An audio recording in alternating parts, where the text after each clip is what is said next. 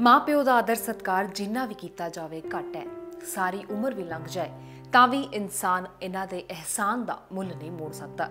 ਕਾਵੜ ਯਾਤਰਾ ਵਿੱਚ ਜਾਂਦੇ ਹੋਏ ਲੋਕਾਂ ਨੂੰ ਤੁਸੀਂ ਵੇਖਿਆ ਹੋਵੇਗਾ ਜਾਂ ਇਸ ਬਾਰੇ ਸੁਣਿਆ ਤਾਂ ਜ਼ਰੂਰ ਹੋਵੇਗਾ।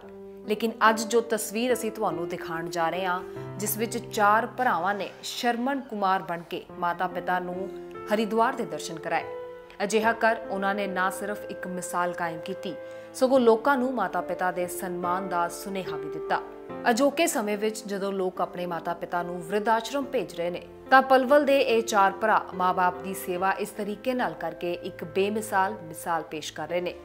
ਅਜੋਕੇ ਸਮੇਂ ਵਿੱਚ ਜਦੋਂ ਲੋਕ ਆਪਣੇ ਮਾਤਾ-ਪਿਤਾ ਨੂੰ ਵਿਰਧ ਆਸ਼ਰਮ ਭੇਜ ਰਹੇ ਨੇ, ਤਾਂ ਪਲਵਲ ਦੇ ਇਹ ਚਾਰ ਭਰਾ ਮਾਪੇ ਦੀ ਇਸ ਤਰ੍ਹਾਂ ਸੇਵਾ ਕਰਕੇ ਇੱਕ ਲਾਜਵਾਬ ਮਿਸਾਲ ਪੇਸ਼ ਕਰ ਰਹੇ ਨੇ।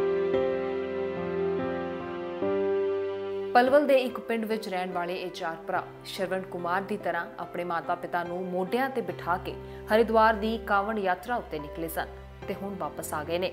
ਉਮੀਦ ਕਰਦੇ ਹਾਂ ਕਿ ਇਹਨਾਂ ਦੇ ਇਸ ਉਪਰਾਲੇ ਨੂੰ ਦੇਖ ਅੱਜ ਕੱਲ ਦੀ ਹੋਰ ਨੌਜਵਾਨ ਪੀੜ੍ਹੀ ਵੀ ਇਹਨਾਂ ਤੋਂ ਕੁਝ ਸਿੱਖ ਲਵੇ।